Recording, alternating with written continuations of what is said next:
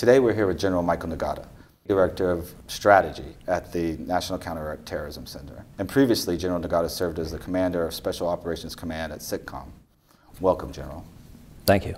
We were talking just before, and um, I was speaking to you here at the uh, occasion of the U.S. Africa Leaders Summit. Mm-hmm.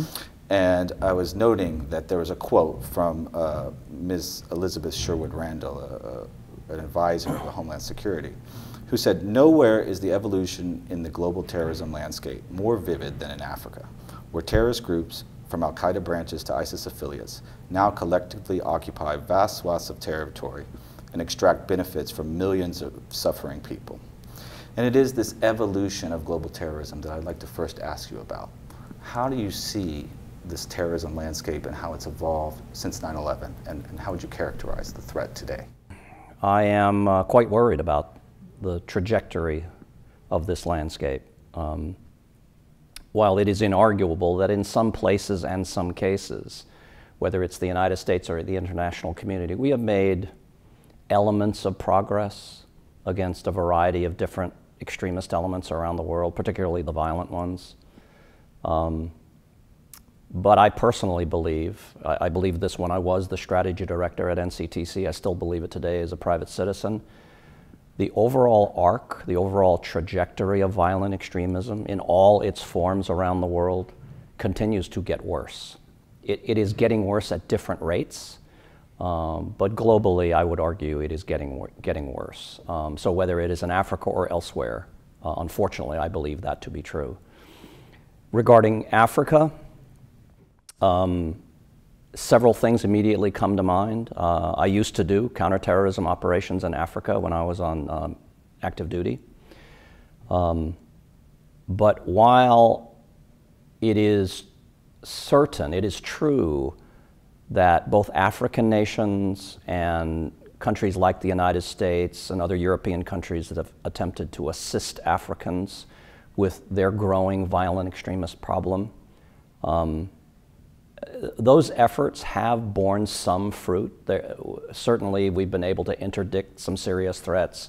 We've been able to remove a, a pretty significant number of senior leaders of a variety of terrorist groups. The movements themselves, however, as a general rule, continue to thrive and in too many cases continue to expand. So I agree with the quote you just read from. Um, but the other thing that comes to mind is that countries like the United States, even European countries that are far closer to Africa than uh, America is, we don't generally put African violent extremism at the top of our strategic priority list. Um, we tend to prioritize other threats uh, as being more dangerous or more important. Um, frankly, I think there's a little bit of um, there's a little bit, little bit of a willful attitude that Africa just isn't that important that I've seen both in the U.S. government and in foreign governments. And I think that contributes to the problem as well. But at the end of the day, the problem is absolutely getting worse. Throughout your career, I know that you've, you've had a lot of experience and you're an expert in countering this threat, these types of threats, in, with a kinetic response. But I know you think a lot about the non-kinetic uh, responses to, to terrorism. And the idea that they need to join up, that these things are not uh, mutually exclusive, that, that there needs to be both a military response and uh, a civilian response. How do you see that, and what is your thinking on the needs there for this encountering violent extremism? That is a great question. Um, I have come to believe, um, because of the ex experiences I've had, both in actual counterterrorism operations, but also having to wrestle with strategy and policy issues that flow from counterterrorism, uh, both in my own capital as well as other international capitals.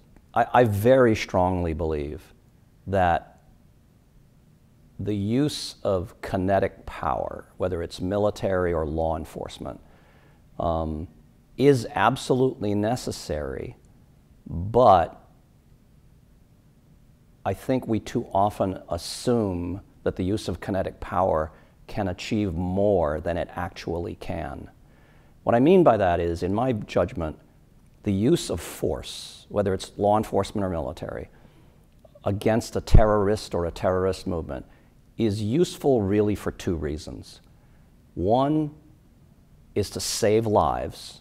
If you have the opportunity to prevent or preempt a lethal operation, you should absolutely do it if you have the ability, and we've certainly grown our ability to do that in the last 20 years, or to bring people to justice. They are guilty of some horrible act and need to be brought to justice. And the use of force is often required to do that because they won't go willingly in most cases. Um, and those are two very important objectives. But here's what kinetic counterterrorism cannot do it cannot prevent people from becoming terrorists. Um, and in some cases, I think any veteran of places like Iraq or Afghanistan has seen them for themselves if you make too many mistakes in the use of kinetic power, you'll inadvertently create more terrorists. Um, but regardless, kinetic power cannot solve the problem of why do people become terrorists. That requires a non-kinetic approach. That requires addressing everything from societal ills to economic corruption to political malfeasance and a whole raft of other things for which law enforcement or military power is not particularly useful and in many cases quite counterproductive. But I guess I'll finish by saying these other things, which I am certainly not an expert in as a military officer, but one thing I have observed in more than two decades of counterterrorism is as hard as kinetic operations can be, and often quite dangerous, they pale in comparison to how difficult solving societal, economic, political, cultural issues that are the fountainhead of terrorism. Is there a whole of continent approach that, that, that may be missing, or what are your thoughts on that? I don't think I've ever seen any country have a whole of government or whole of Africa governmental approach.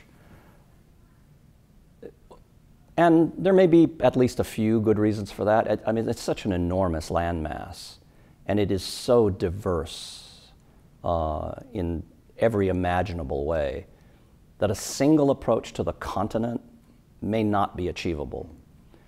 But whether or not that's true, um, of course, African populations, wherever they may be on the continent, they of course will care a great deal about the emergence of a terrorist threat within their own country. It's a totally rational reaction. But countries outside of Africa, whether it's Europe or the Middle East or the United States or others, um, they pick and choose what parts of terrorism in Africa they care about. Now, that's not irrational. Again, it is an enormous continent. Um, but I think it's important that we be honest with ourselves, speaking as an American, and I think the sa- I, I believe what I'm about to say applies just as much to my European colleagues, my Middle Eastern colleagues that worry about counterterrorism in Africa. Rather predictably, we prioritize the things we care about in Africa based on things like do they, do they produce petroleum? Do they influence or could they potentially hinder the commercial maritime flows in the Mediterranean, in the, in the Gulf, or elsewhere? Um, do they, does the terrorist group in any particular country pose a threat to their own citizens? Um, and I think one of the unhappy consequences of the huge migrant crisis several years ago that flowed out of Africa into uh, southern Europe, um, preventing that from happening again. Right. Um, so these are not irrational reactions, these are not irrational calculations, but what it does mean is there's a mismatch between what Africans care about in terms of terrorism on their own continent and what other nations tend to prioritize. I mean, Libya is a very good example. Libya is an oil producing country that has significant influence in the Mediterranean, could become a launching point for another migrant flow into Europe. So it is completely rational that European countries and the United States would worry a great deal about Libya. But what if Libya isn't the worst terrorist problem? The answer, again, rather rationally from these non African countries will be well, we don't care as much about those other places. We care about Libya because of its geographic location. It's an oil producing country. It could influence maritime traffic in the Mediterranean. So that's why we're going to care. And, it's, and the fact that it's untethered from what Africans care about isn't particularly important. The other question, uh, as you speak about Europe, and it just strikes me in thinking about Africa and Europe and counterterrorism that the, the French and their, and their work in Mali specifically, but in, in Francophone uh, yes. Africa. And their sort of pull out from, from the counterterrorism approach, especially in areas where now we see Wagner's forces. And yes. Is this, is this a call to action for the U.S. to sort of step in? Or, I, I, I mean, I'm not saying it's the French call to action, but does this call us to action to try to step in? And what are your thoughts about that? The answer to your question, in my judgment, depends on um, as the problem continues to deteriorate, which I am convinced it will, particularly with the substantial withdrawal of French forces. You know, nature abhors a vacuum, and that vacuum will be filled by something, and it's probably going to be at least partially filled by the terrorist movements they went to fight. Um, the answer depends on how much do we care about that. Um, I personally believe the answer is eventually it will get so bad we will have to care about it and we will have to do something. Um, because that part of Africa is a part of Africa that, for, for, mostly for economic reasons, but also for some political reasons, the United States has to care about. And if it starts going to hell, which it might with the French withdrawal, um, it'll get so bad we'll have no, no choice but to do something, which of course we've done before. Um, this is a little bit of rinse and repeat we apply kinetic power, or the, in this case, the French apply kinetic power, it diminishes the problem to a degree, but as I've already indicated, kinetic power can only achieve so much. There are other things that have to happen in terms of political, economic, societal reform, which mostly have not happened in part of that, or, in that part of the world. So as Western efforts to suppress through the use of force uh, these violent extremist groups, once that pressure is lifted and these other non non military arenas get worse, the result is pretty predictable. And then, as far as American interests, I, I know you've also thought a lot and, and written about uh, uh, strategic rivalry issues. And, and it, it, it comes to bear when you speak about West Africa and the Western Sahel. I think more about the littoral states mm -hmm. and, mm-hmm. and, our friends in, in Ghana and, and, Cote d'Ivoire and Benin and right. um, part of ECOWAS. Um, do, do you think that our concern, uh, particularly uh, in the, the, the, littoral states and China's interest in Equatorial Guinea, this might be one of the reasons why we'll look to, to try to quell these, these terrorist threats on the borders in the littoral states? It should. To a degree, it has. But in my judgment, the United States and Europe were very slow to in both anticipating and effectively reacting to uh, the penetration of what I would characterize as malign actors in Africa, whether it was the Chinese or the Russians. We saw it happening. And in my personal opinion, there was a lot of wishful thinking in Western capitals about how important this was, where, what it might lead to.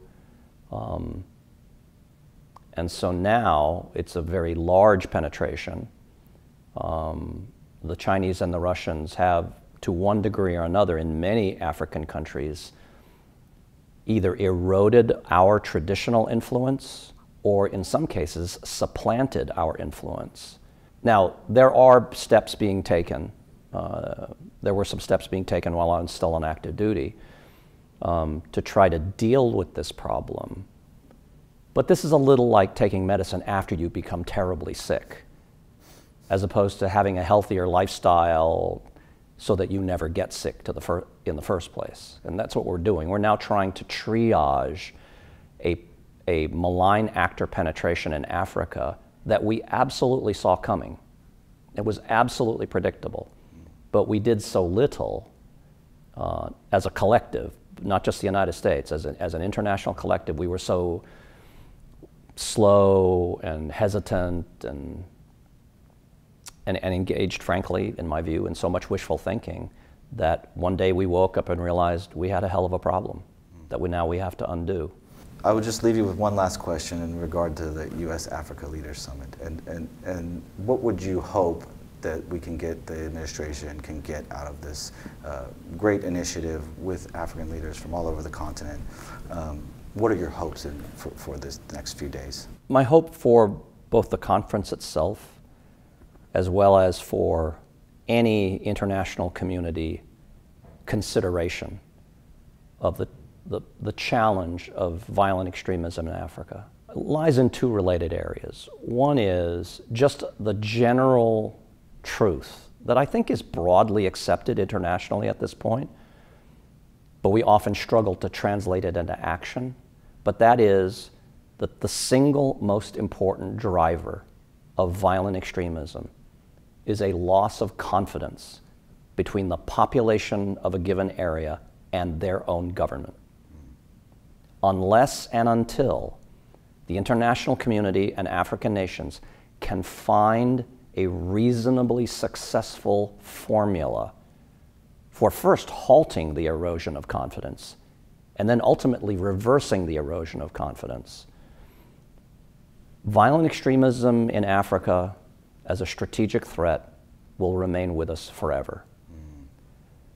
The second one, perhaps a little more hopeful, but anyone who's ever studied African realities knows it is the fastest growing population on earth.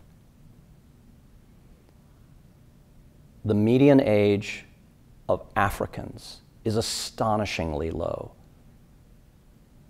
There are many potential benefits for the world for that. One being, it is an enormous market. And if we can turn it into a globally effective market, it would not only do good for all the countries that wish to do business in Africa, it would be good for Africans themselves because their lifestyle, their ability to pursue their own futures would be enhanced by having a much stronger economic basis upon which to live. But none of that is true. None of that will be true so long as the world's collective efforts to deal with violent extremism in the continent continue to get the result we're getting, which is that it keeps getting worse. Thank you so much for being with us today. Thank you. I enjoyed it.